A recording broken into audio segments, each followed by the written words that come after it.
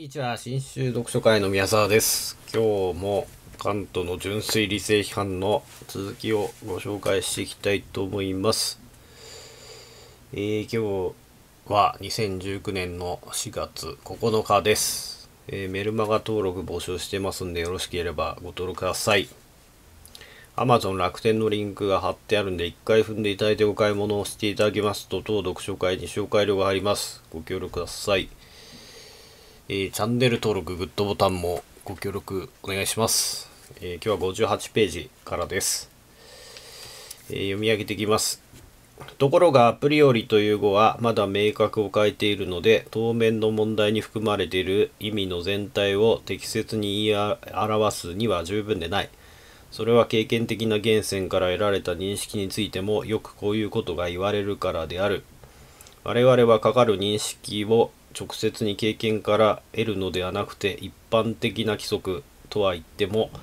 やはり経験から得てきたものであるがとにかく一般的規則から引き出してくるのであるから我々はアプリよりな認識アプリよりに認識しうるしあるいはまたアプリよりな認識を持ちうるのであると。それだから土台下を掘ったために家を倒壊させた人があるとこの人を評判して彼はこうすれば家が倒れるだろうということをアプリよりに知れたはずである。何も家が実際に倒れるという経験を待つまでもなかったのになどというのである。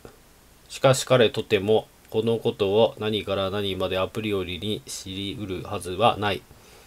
物体には重さがあるのだから物体を支えているものが取り除かれれば落っこってくるということをあらかじめ知ていなければならないからである。ということです。アプリよりっていうのは先天的っていうことですね、まあ、前回お話ししたので、まあ、数学っていうのはアプリよりに関わる。二等辺三角形ってアプリよりまあ二等辺三角形ですね。平行線が交わらないってアプリよりですね。経験できないですよね。平行線をずっと伸ばし続けて、ま、交わらないっていうところをず経験的に認識することはできないわけですね。この地球上にかけはどっかで平行線は交わるんですけども、まあ、数学の場合は、まあ、平行線は、ま、交わらないっていう、まあ、アプリよりな認識のもとに幾何学を打ち立ててるってことですね。ユークリッド幾何学なんかはそうなんだと思いますけども。まあね平行線公順と疑えば非ユークリッド幾何学っていうのが生まれてくるってことですよね。で一応まあまあ平行線工事はアプリよりかどうかは分かんないんですけども一応前提としてる考え方があると。いうことですよね。三角形の内角の和は180度とかまあまああれはもうアプリよりなわけですね。経験しなくても分かることってことですね。えー、まあちょっと私も数学に詳しくないんで、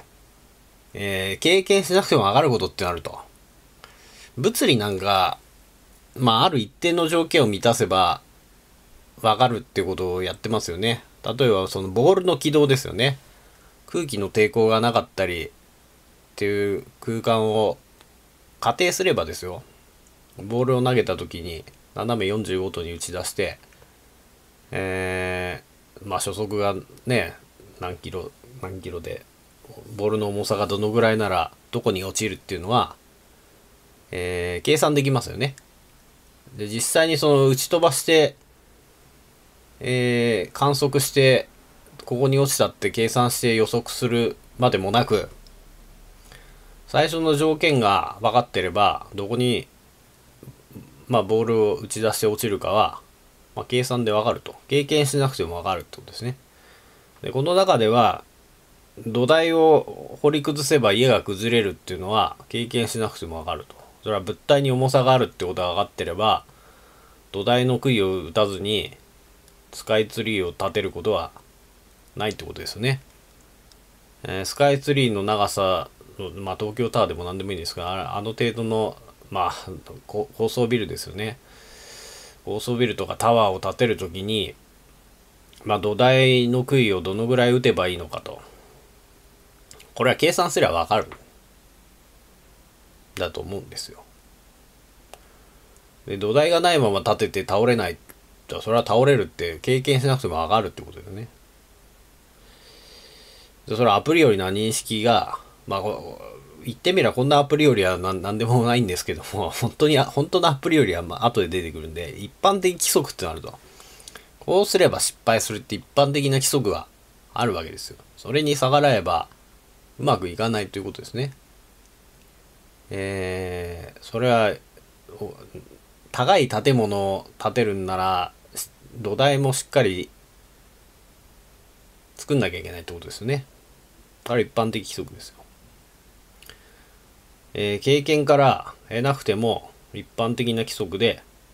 まあその一般的規則って言ってもやはり経験から得たものだが一般的規則っていうものは持ち得るってことですね。人間っていうのは経験しなくても上がるっていうことがあるってことですよ。教育っていうのはある程度その部分を鍛えてるわけですね。社会に出る前に上がるようにしとくことがあると。挨拶をしなきゃいけないとか。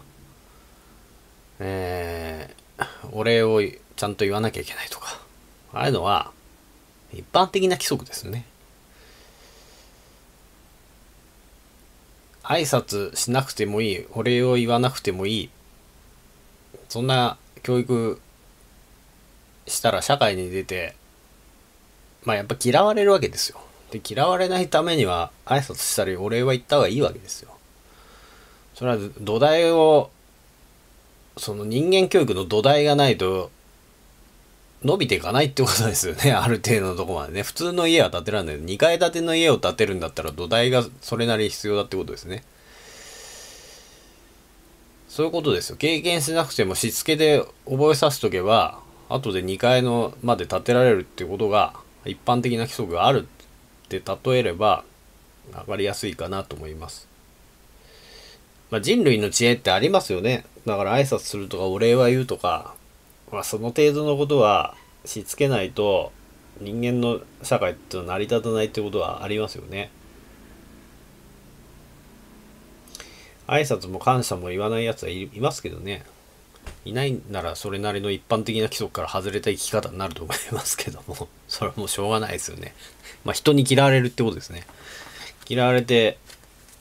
で、土台がなってないから上にも伸びないっていう、どっかで頭打ちになるってことですね。だからある程度のこのしつけの部分。まあいい家庭教育ですよね。しつけの部分がないと。ただ学校で数学とか英語とかを詰め込んでもしつけの部分が土台になってるから土台があってある程度上に知識を載せれば普通の2階建ての家が建つと。地震が来ても倒れないけども。どっかバランスがおかしいとしつけがなってなく上だけ載せりゃえー、なんか何かの拍子にショックを受けると崩れてしまうと。まあそうやって例えれば分かりやすい。で、アプリよりってものがあると。まあそんなアプリよりじゃないんですけども、まあ分かりやすく言えばカントは、えー、経験的な源泉から得られた認識についても、まあ全部は経験しなくても分かることがあると。挨拶しなければ人に嫌われるとか感謝言わなきゃあのもうよくしてもらえないよとかあるわけですよね。えー、そういうことがあると。それは経験して挨拶しなかったから怒られたとか感謝を言わなかったら激しく嫌われたとか。そういうこと経験しなくてもまあ分かってることはあるわけですよ。あのささ麹島っていうんですかね。お猿さんが芋を洗う芋を洗うってわけですね。芋を洗う猿がいるわけですね。若い猿が始めたそうなんですね。若い猿が始めたら、年取った猿も洗うようになったと。で、その芋を洗うっていう、まあ、ミームっていうんですかね、習慣が伝承されていくことになるわけですね。えー、泥のついたまま、砂のついたまま食べてると美味しくないわけですよ。猿だってそのぐらいわかるわけですよ。水の中で芋を洗った方が美味しいってことがわかれば、せっせと洗うってことですね。で、それは経験から得てきたことですよね。経験から得て芋を洗った方が美味しいって最初に気づいた猿若い猿がいたと。でもその後は受け継がれるに従ってあの洗った方が美味しいんだっていうことアプリよりに猿だって分かるようになるわけですよ。だったらなんか他のかぼちゃももらっても洗うし何もらっても洗うようになるわけですね。でいずれその麦をもらえば水に浮かべて浮かんだ麦だけ食べると。砂は水の底に沈んでいくんで。それはあれですよね。芋を洗うとこから麦もこすって海水でこすってことが分かるようになってくるってことですね。これはアプリよりな認識ですね。何かその水の力で泥を落とすってことですね。それは物体をは重力でね、重いものが沈んでいくってアプリよりに知り得る状況があるんで猿においてもですよ。芋を洗ったり麦を海水でこすとかそういうことをするってことですよ。そんなことが書いてあるんですねだから経験しなくても分かるようになってくると経験一般経験の中から一般的規則だけ抽出して応用するようになるってことですよこういうこと人間はできるとでこれがアプリよりな認識を持ちうるっていうことだってことですね。で、続きです。そこでこれから先、我々がアプリよりな認識という時には、個々の経験に関わりない認識というのではなくて、一切の経験に絶対に関わりなく成立する認識を意味することにしよう。ってことですね。これから言うのは、猿が芋を洗ったら麦もこすようになったとか、そんな話じゃないんですよ。もっと、個々の経験に関わりなくですよ。えー、ぜあの先にあるアプリよりな認識ってのはあるっていうですねこっからちょっと難しくなってくるんですけど私も何回も読んでなんかだんだんおぼろげに分かってきたんですけども。えー、で続きです。かかるアプリよりな認識に対立するのは経験的認識である。経験的認識アポステリオリにのみ還元すれば経験によってのみ可能な認識である。そしてアプリよりな認識の字で経験的なものを一切含まない認識を純粋認識というのである。アプリよりな認識だけで成り立ってるのが経験を一切含まないのは純粋認識。一方でアポステリオリな認識。アポステリオリって後天的って意味なんですね。これ、ラテン語でね。これは経験によってのみ可能な認識ですね。この2つがあると。で、ここで例えばが出てきます。この例がよくわかんないんですよ。わかんないけど、わかるようになるべく説明しますんで。それだから例えばおよそ変化は全てその原因を持つという命題はアプリよりな命題ではあるが、しかし純粋ではない。変化という概念は経験からのみ引き出される、得るものだからであるということです。これはカントが例を挙げてるんですね。その経験的認識と純粋認識。純粋認識っていうのは経験が交わらない完全にアプリよりな認識ですね。えー、で経験的認識っていうのは人間が経験して、まあ、猿が芋を洗うってことを経験して麦もこすみたいなことですね。人間が砂場でまあ砂場で砂場ってことないか。うんまあでも砂場で山を作るんだったら土台をしっかり作んなきゃいけないですね。円錐形にしないと山は建てられないですよね。えー、上の方が重くなれば崩れますから。土台がしっかりしてなきゃ、まあ、末広がりになんなきゃ高い山作られないっていうのは砂場で遊んでりゃ子供は気づきますよね。えー、土台の方にトンネルいっぱい掘ってきゃいつか崩れるじゃないですか。山ごと。まあそれは経験すれば分かることですね。それは経験的認識ですね。だけども、アプリような認識っていうのは、ちょっとこれから例えて喋っていきますから、およその変化は全てその原因を持つという命題はアプリよりな命題であるが、しかし純粋ではない変化という概念は経験のみから引き出されうるものだからであるってことですね。変化っていうのは、およその変化は全てその原因を持つってこの命題があるんですよ。この後に次のページに出てくるもう一個の命題があるんですよ。この命題と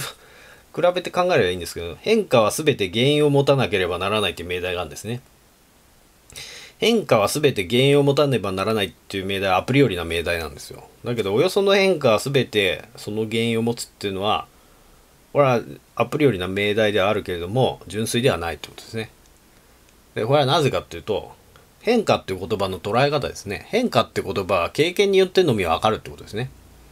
さっき砂場の話しましたけど、砂場に山を建てたと。で山に変化を加えるわけですね、穴を掘って。で、穴を掘ったことによって山が崩れるとしますよね。で、穴を掘るっていうことは、経験によ経験ですよ。変化ですね。まあ山が崩れるっていうのは変化だとすれば、その変化は原因があると。穴を掘ったってことですね、下にね。山が崩れるという変化には穴を掘ったという原因がある。これはおよその変化は全てその原因を持つですね。でこの後に出てくる変化は全て原因を持たなければならない。山が崩れたってことに関しては何か原因があるってことですね。この2つの言葉は違うんですよね。えー、山が崩れるのは全て原因を持たなければならないっていうのはこれはアプリよりな認識なんですよ。経験しなくてもわかるっていうことですね。変化は必ず原因があると。まあ、変化っていうか現象って言った方がいいんですけどね。およその現象は全てその原因を持つと。何かが現象化してるのは何かの原因があると。だけど現象っていうのは経験でしかわかんないんで、えー、これは純粋な認識じゃないと。だけど、現現象は全て原因を持たなければならないってことであれば、これはアプリよりな認識なんですよ。このように現象化してるものは何か原因があるわけですね。その原因は、何だかは言えないですよ。原因であると。なんで現象化してるかわかんないけど、原因があるんだと。まあね、あの、ショーペンハーウェルが言ってるのは意志、意志が原因なんだってです。人間が現象化してるのは意志が原因にあるからだって言うんですよ。どっかに、この時間と空間離れたどっかに意志があるんだと。根源的な状況が人間の。それがたまたまこの時間と空間の中に人間という形で現象化してると。でそう考えれば、およその人間っていうのは、全てその原因を持つっていう考え方と、人間は全て原因を持たなければならないって、まあ、およその人間は全てその原因を持つっていうテーゼ、や命題と、人間は全て原因を持たなければならないというえー、命題があるとしますね。どっちが純粋な認識かっていうことですね。でおよその人間は全てその原因を持つ。これはアプリよりな考え方であるけど、えー、純粋ではないんですね。なぜかというと、人間っていうのは経験のみから経験的に考えてる人間だからですね。だけど、アプリよりな認識における人間っては人間は全て原因を持たなければならない。およその人間は全てその原因を持つっていうと、ただ、両親がいて、まあ、なんで、なんですか。両親の性の営みによってまあ、受精卵が受精ね精子と卵子が受精して、えー、人間が生まれてるっていう科学的な考え方ですね。およその人間は全てその原因を持つと原因としてはまあななんだろう進化の過程があって、まあ、ダーウィンの進化論みたいなもんですよ。なんかまあ最初アメーバみたいな単細胞だったんでしょうけども複雑化してったと何かの拍子にまあ DNA が異常をきたして新しい種が生まれてまあそれが最終的に人間だと人間の原因っていうのは何かの、まあ、元の生命の元になる遺伝情報が変わってきてこうなったんだっていう考え方ですねこれはでも経験的な認識アプリよりであるけどに経験的な認識ですねだけども人間は全て原因を持たなければならないって言い方はこれはアプリよりな認識なんですよ。なぜかというと、まあ、これはもう次のページ、60ページの最後に書いたんですけど、原因の概念は原因が結果と結びつく必然性と、必然性という概念と、この規則、すなわち因果率の厳密な普遍性という概念を明らかに含んでいると。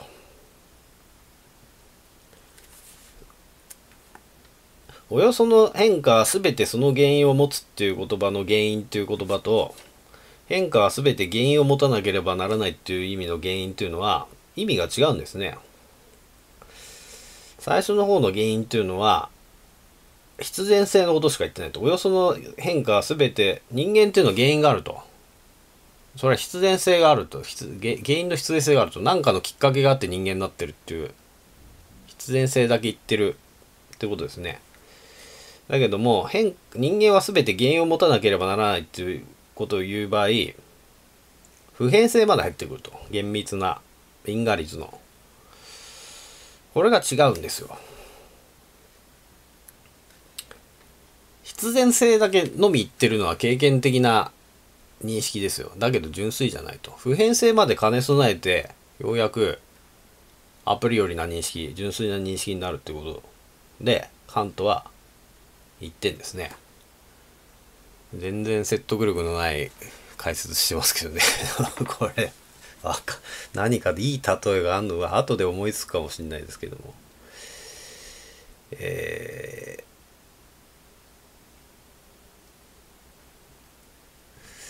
ー、もうちょっといい説明は人間って説明じゃちょっと難しかったのか。現象は全て原因を持つというのと現象は全て原因を持たなければならないと。これ言葉が違うんですよ。現象は全て原因を持つっていうのはただ必然性ですよね。現象にかかる原因の必然性だけ述べてるんですよ。原因の現象の普遍性は述べてないんですよ。だけど現象は全て原因を持たなければならないっていう場合は厳密な普遍性が入ってくると。現象は全て原因を持つっていうのは経験の認識が入ってるわけですよ。だけど現象は全て原因を持たなければならないっていうと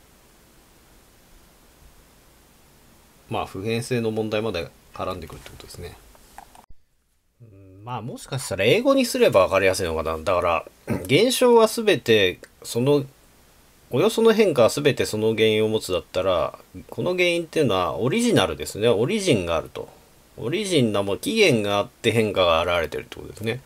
だけど変化は全て原因を持たなければならないの時の原因これ原文はどのドイツ語は知らないですよ。私ドイツ語わかんないんで。変化は全て原因を持たなければならないっていう時の原因っていうのは、まあ、構図ですよね。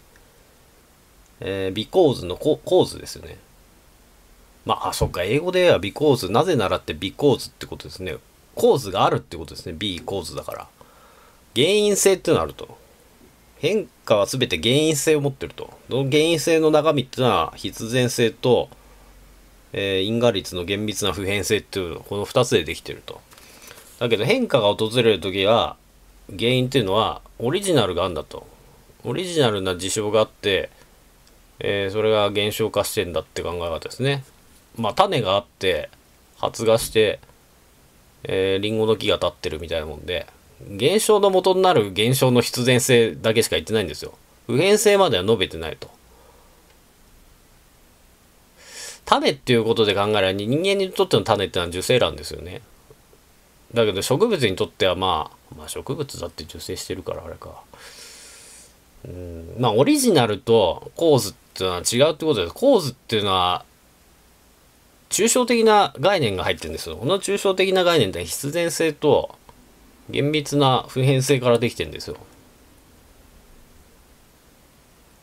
それは経験の外にあるもんですよ。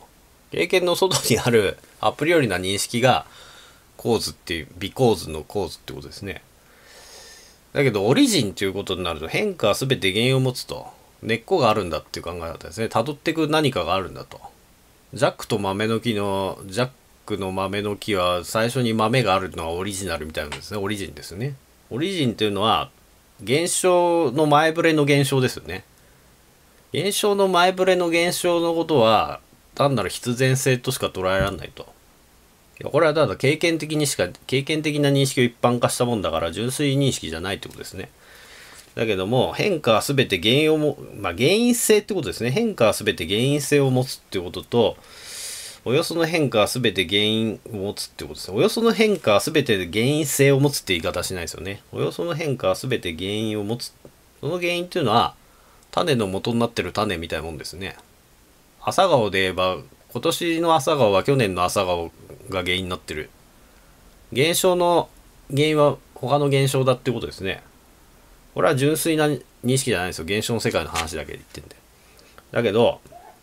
え変化は全て原因を持たなければならないって場合は、こっちはオリジナルの方じゃないですね。構図ですね。えー必然性と因果率の厳密な普遍性っていうことが含まれていると。朝顔、まあ朝顔、まあ花は全て、花って言っておかしいか。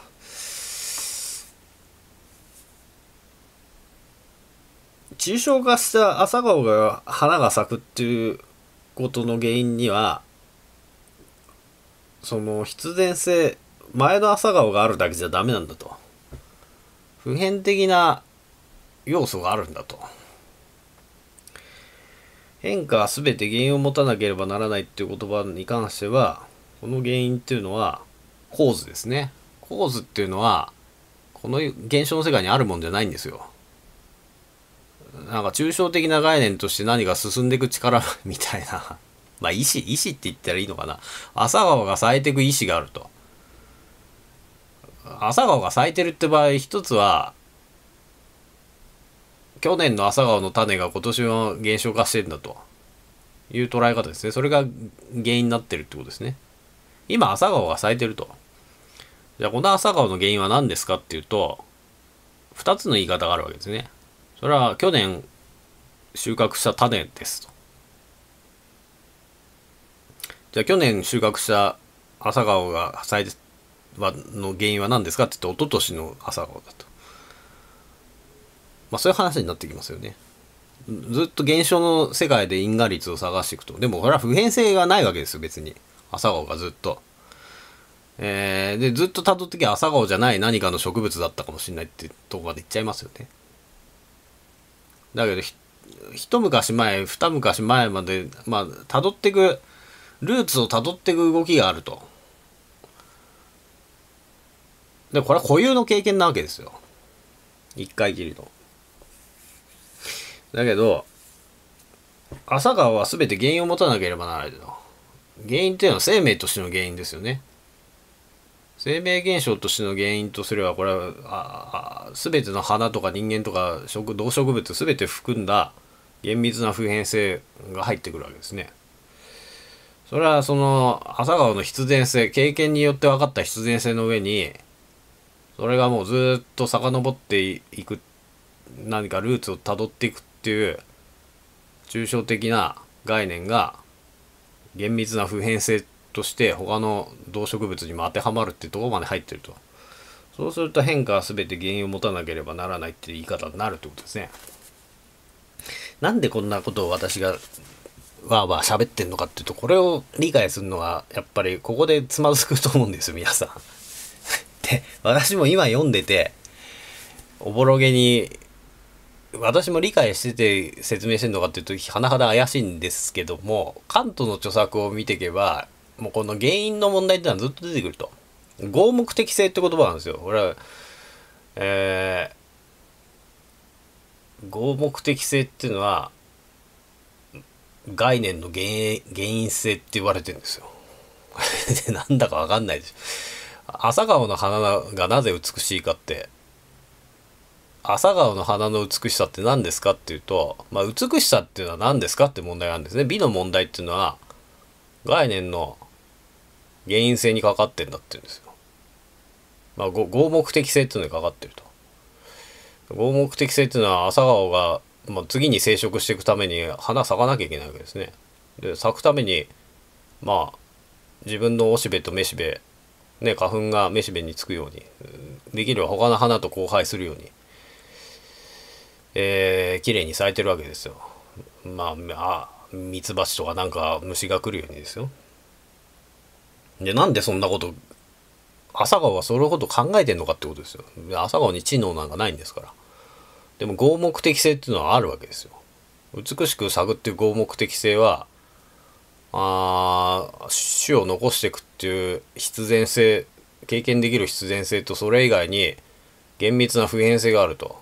それはこのように減少化してるものとしての厳密な普遍性が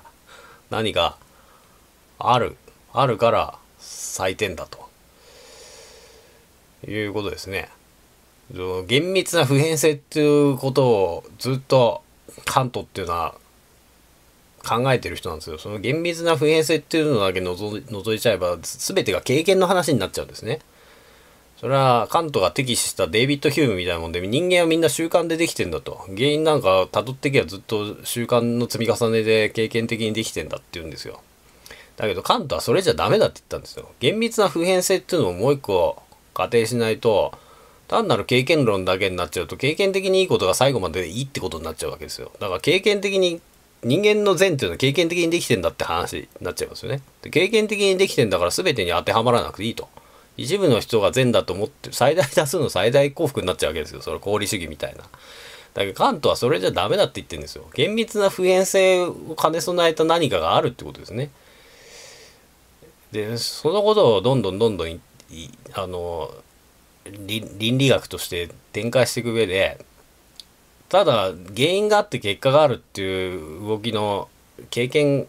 的なことだけで世の中現象が現象を生むっていう形であのずっと動いてるわけじゃないと。厳密な普遍性っていうのも一個入ってんだってことですよ。で入ってる認識と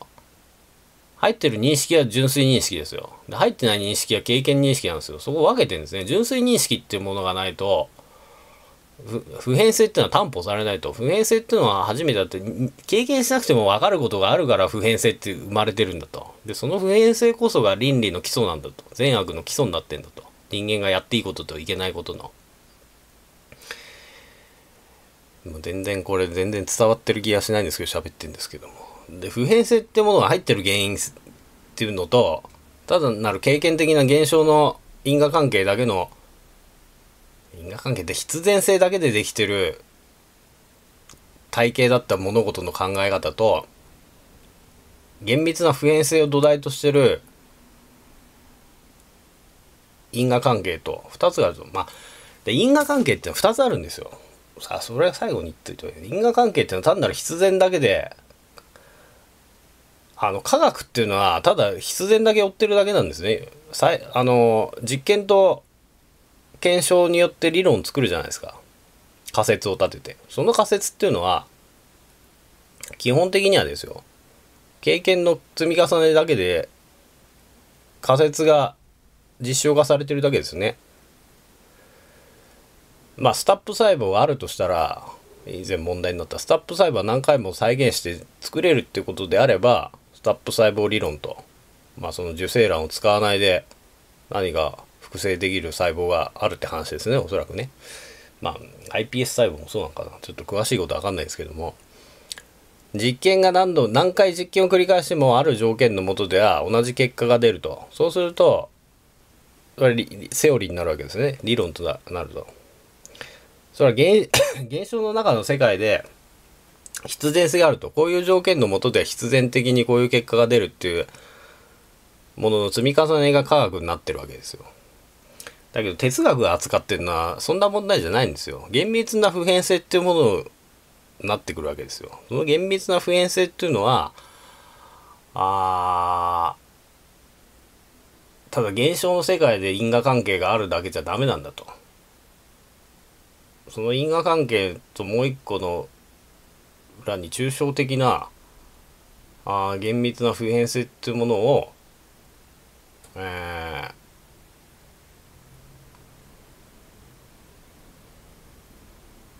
まあアプリよりな認識として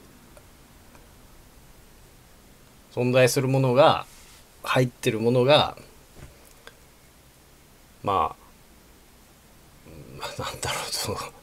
科学を超えたものとしてあると。科学っていうのは経験的な事象をただ再現性で確認してセオリーを作るだけだと。そのセオリーを超える厳密な普遍性っていうものは科学は作れないですよね。だけどそれそれあるのかないのかっていうのは科学はそこは問わないわけですよ厳密な普遍性なんてものは。実験と検証でセオリーが成り立つってだけの話をえー、科学って追い求めてるとそこに厳密な普遍性なんてものを求めていく運動は形事上学になっちゃうわけですよ。メタフィジックじまあ全部条件を除いても普遍的に当てはまることっていうことですよね。科学って必ず条件があるわけですよ。この空間でこのこの空間の温度とか湿度とかこういう空間でとかまあ物理もそうですけども時間と空間という前提があって再現できる仮説立てて実験と検証でセオリーを作っていくというのが科学ですね。